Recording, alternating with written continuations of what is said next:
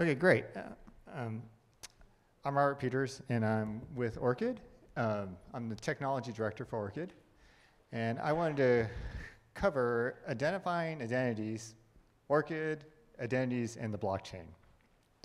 And so what's fun about this conference, there seems to be actually a pretty wide variety of people. There's uh, technologists, uh, there's admins here, there's people who know what blockchain is, there's people who have no clue what blockchain is.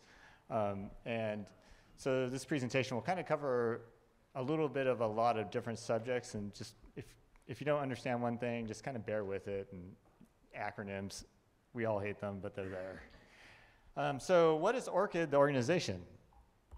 Um, first of all, ORCID is an acronym. It's the Open Researcher Contributor ID. Uh, we're an open nonprofit organization, and we're run by and for the research community. Uh, we provide researchers with a unique identifier, the ORCID ID, that reliably and clearly connects them with their research contributions and affiliations. And you'll see a, an example uh, URL. Um, so that's an ORCID identifier, and there's our domain, and then there's a 16-digit numeric ID that kind of uh, uh, identifies who that researcher is. And if you click that, you'll, for humans, humans resolve to a record that kind of looks like a CV. It's not really a CV, but we'll have a list of works or, or different name variations that you want recognized in your research activities. Uh, we have about 500 systems that have integrated ORCID ID, and that's growing quickly. Um, and those general use cases would include grant applications, manuscript submissions, uh, CRIS systems, repositories. We've been talking with uh, open pharma initiatives, you know, so it's a pretty general uh, identifier useful for any academic, scholar, or research uh, space. Um, and so we use the term researchers a lot, but actually we include admins and we include um, other types of scholastic work. So I'm going to say researcher a lot, but we really, it's a very inclusive term uh, for us. Um, so the researcher, um, typically how they interact with ORCID is an institution will ask them to authenticate their ID. And once that in institution authenticates the ID, they can use it to uh, collect information about the researcher and then attribute uh, the researcher correctly in their metadata. And in ideal situations, that metadata gets pushed all the way to other systems that include publishers, employers, and funders, and eventually, hopefully, it gets into the ORCID record. And uh, we see that nowadays with things called uh, Crossref auto update, where when people, when somebody publishes their work, they're notified by ORCID that it's been published before the publisher or anybody else has notified them, because some of those systems work quick enough.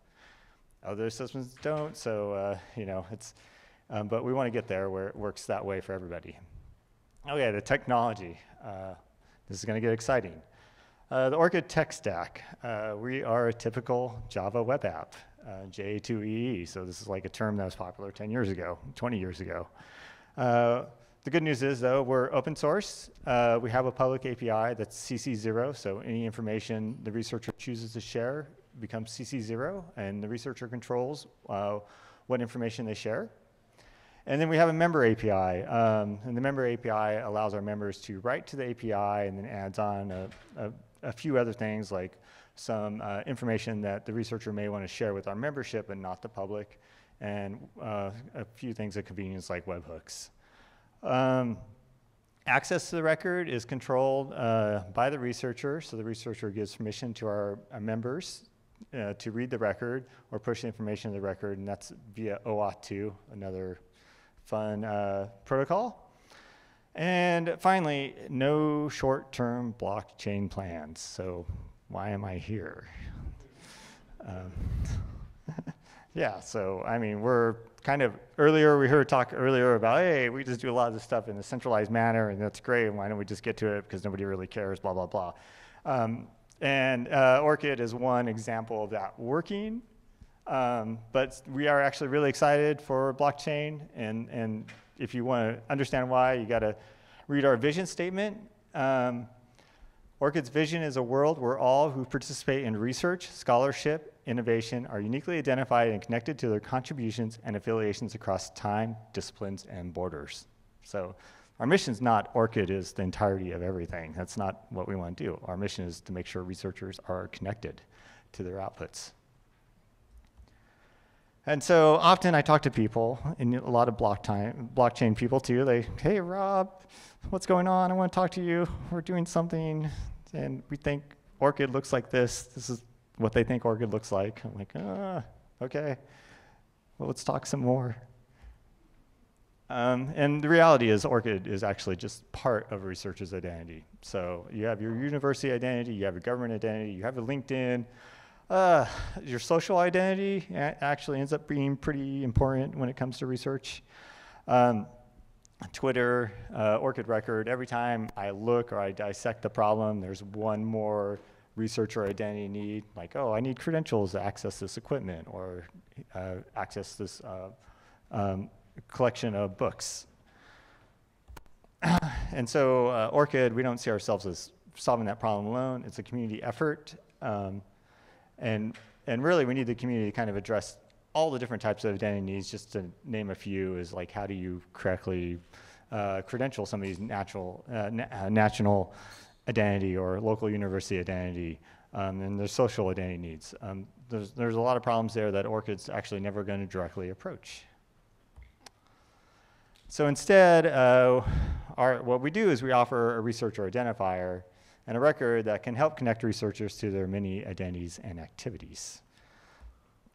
And what that kind of looks like would be something like this. Uh, you know, we'd really like to see the ORCID identifier used uh, to help attribute metadata in all these systems out there, and then have that metadata point to ORCID record, and ideally, vice versa. We want that metadata references in the ORCID record that we can point back to the source of uh, a lot of these things. Great. Uh, so now we've kind of covered the identifier, and that's really the core of what ORCID does. Uh, but now let's talk a little bit about how that helps connect uh, with other identifiers, mostly identifiers about research outputs. Uh, you have research papers, university affiliations, peer reviews, grants, equipment. There, researchers do a lot of stuff. Conferences, right? We're at a conference, people are producing at the conferences. How do you correctly attribute that researcher to it? Um, and every time we look, there's yet another thing that probably needs attribution. Um, so researchers are doing a lot of work out there and they're not getting attribution correctly. And there's, uh, this graph kind of shows uh, a little bit of where we have good coverage. If we're talking about works, researcher actually, uh, ORCID uh, via Crossref, other, um, and, um, and other uh, PID providers provides pretty good coverage. You can push a lot of different types of works to ORCID and have them correctly uh, attributed. But when you get into equipment, that becomes very, it's not, the community's not there yet. So we're trying to facilitate building out infrastructure for attributing grant awards, equipment, peer reviews, um, researcher resources, which is a new one that's coming up, but there's always uh, another thing we need to try to figure out how to connect and attribute researchers to. Um, and currently, this is just a short-term roadmap of new things that, you know, most researchers are familiar with um, PID, such as a DOI, right? So I get a DOI, my paper is now official, and they feel good about it. And that's the extent. They know they can click this link and it resolves to their paper. Um, but we're trying to help the community develop uh, the same kind of infrastructure for uh, affiliation types, uh, researcher resources, and grant IDs. And there's all kinds of other things out there that we also need to connect to. And then I used the term PID, and I was like, oh, wait a minute. Okay, there's lots of people that probably don't know what a PID is. And so I tried to think of the easiest explanation I could come up with, and it's a it's a resolvable, actionable, uh, durable identifiers that can be used to locate and describe things. And typically we see this as URLs that exist forever. And from ORCID's uh, viewpoint, we really like uh, URLs that resolve to metadata for both machines and humans. So there's, you see some that do one or the other, but we really want to do both well. And even beyond kind of the activities and that I've been referencing, uh, there's lots of other things that kind of we need to help connect researchers to. Uh, there's different profile systems, right? Somebody, we had, uh, you have your NIH profile and you have your LinkedIn profile. You might have a, a, profile on Scopus. And so depending upon what areas you are and what areas you move into, you definitely have more than a few profiles. Um, how do we even connect a researcher to their Google search results? I mean, that kind of ends up being pretty important in the research community. Somebody types in a name, and voila, they, they pop up. Uh, government identi identities, uh, somebody brought up ResearchGate earlier today. Like, well, how do we connect that kind of profile? Um, and all kinds of stuff that really we need to help facilitate connecting to. And so when you look at the scope of the problem, I just kind of, I quickly described it at a high level, it's huge. Like how do we connect all these things to researchers? And uh, ORCID's viewpoint is it's a community effort. We can't go it alone. So uh, we really need uh, community initiatives to help make this happen. Which brings us right back to blockchain. And so here's an interesting space. There's a lot of innovation going on and lots of possibilities for managing researcher identity and attribution of activities. And so why ORCID plus blockchain? Well, the value ORCID sees in it is uh, it, it's immutable and distributed. And when we're talking about connecting researchers their activities, their activities are everywhere, so and very distri uh, distributed. So having distributed systems uh, kind of correctly attribute those things makes a lot of sense to us. Um, and specifically, uh, we, we really like, we're really liking uh, the innovation we're seeing in the verified claims built on uh, decentralized self-sovereign identifiers. Um, we also um, like some of the initiatives we see around tracking researchers' activities with decentralized systems. And uh, we really would like collaboration on uh, new PIDs and PID infrastructure. And some of those are, could be addressed best with blockchain technologies. And so let's get down to the brass tacks. What are we really asking? Um, uh, number one is if you're trying to attribute activities to researchers or attribute a researcher itself, uh, use the ORCID ID, and that may or may not link directly to the ORCID record. You could use an ORCID ID in an internal system, external system. But the important thing is uh, there is this ID out there where we're trying to make it easy to disambiguate who a researcher is.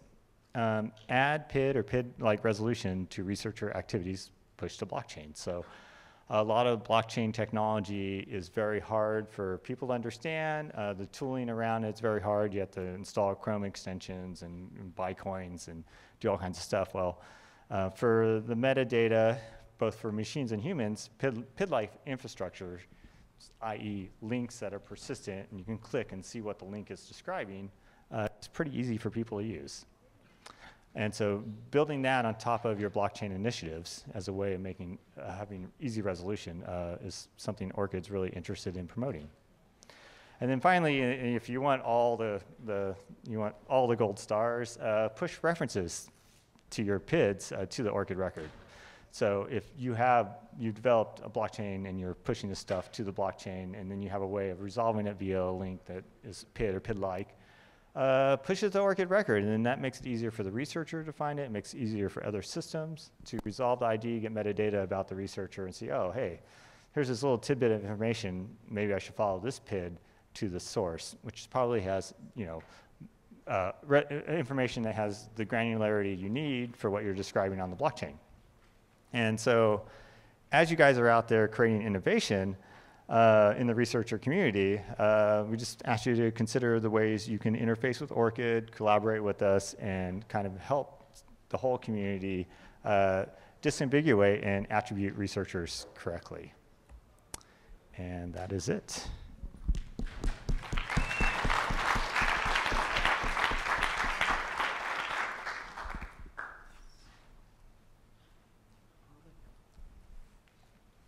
Any questions? So I have one, uh, one question or one statement. So thank you very much for this talk and clarifying the difference between identity and identifier. Mm -hmm. And um, I mean, we have to solve the problem of identity. Uh, we, if, if we don't solve this problem, then we don't need to talk about blockchain and the uh, advanced concepts uh, that we want to like, kind of like money distribution, maybe pseudonymous publications and all this stuff, right? Yeah. And this brings me to another thing.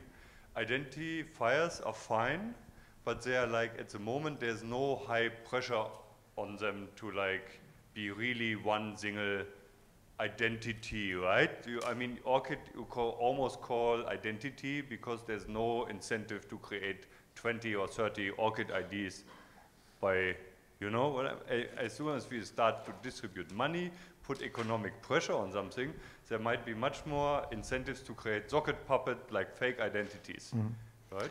Is it, and are there like, how many people check whether this is a real person at ORCID?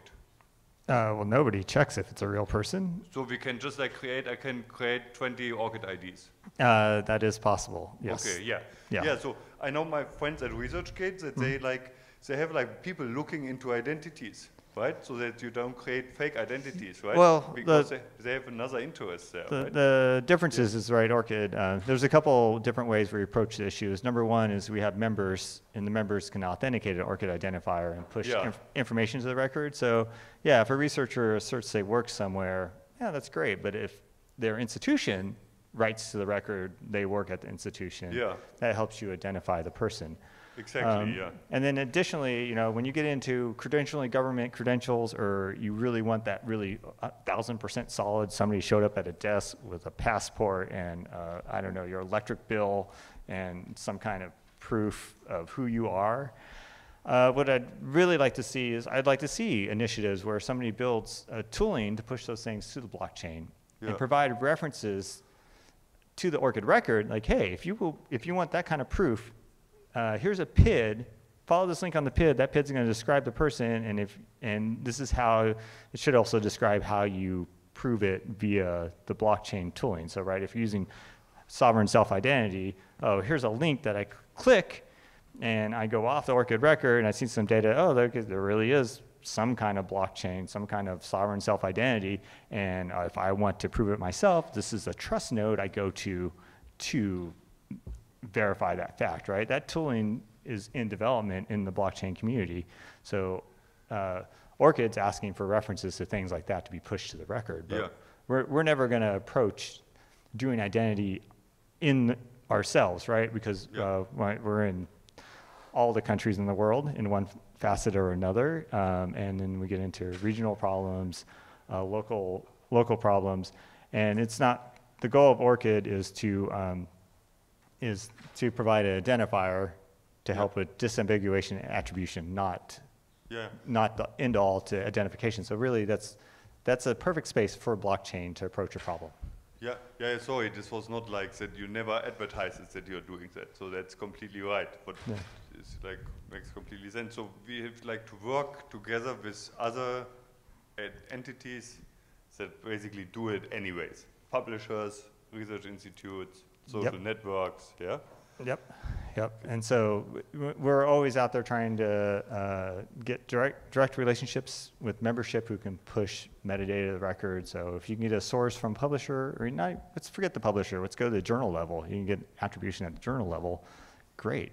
And then somebody goes and looks at your record, they're going to understand what's going on.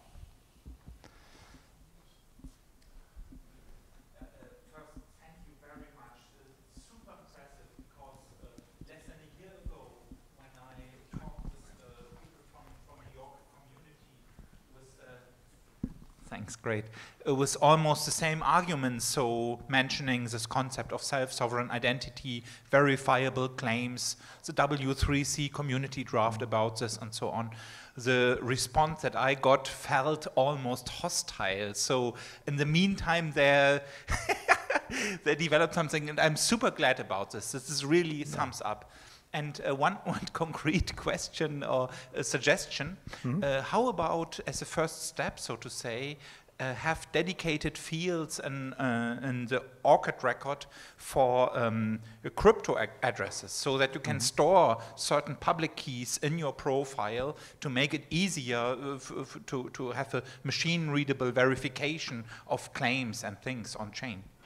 Uh, yeah, that's definitely something that we we're always actively looking at. Uh, one, one metric, though, is uh, actual researcher uptake um, is always kind of a, a, hard metric to pass on some of those things. Um, but yeah, we're, we're always iterating on what metadata can be pushed to the record. So, uh, and you can push person identifiers to the, we're a person identifier. You can push other person identifiers. And so if you have a credential and you frame it as a person identifier, there's already a place for that. And of course, they'd have to click it to go off and see it, but, but yeah. And then uh, we're also uh, pushing uh, into some cryptographic patterns, so um, stuff like that. So the iteration in ORCID, we're always trying to grow, we're always trying to improve, um, and, and we're open to collaboration. Further questions? Otherwise, thank you very much again.